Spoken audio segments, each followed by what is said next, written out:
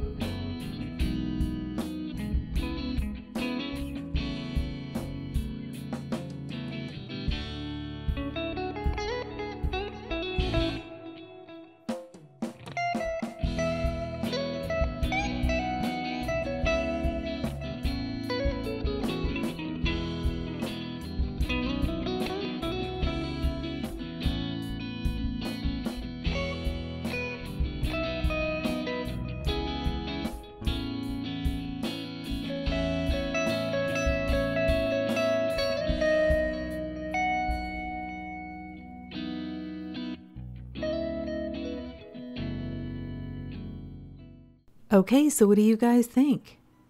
I think this one is beautiful. I bought some of the large 28 by 28 inch kitchen towels. They're the flour sack towels from Amazon just to try out a few designs on.